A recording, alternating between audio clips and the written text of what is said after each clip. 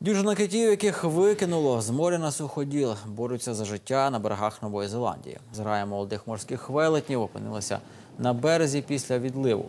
Нині за ними доглядають два десятки волонтерів, поливають китів водою і накривають вологим ганчір'ям, аби не дати їхнім широким спинам перегрітися на сонці. Одного з китів все ж не вдалося врятувати. Він загинув від перегріву. Природозахисники сподіваються, що тваринам вдасться повернутися у море, коли вода знову підніметься.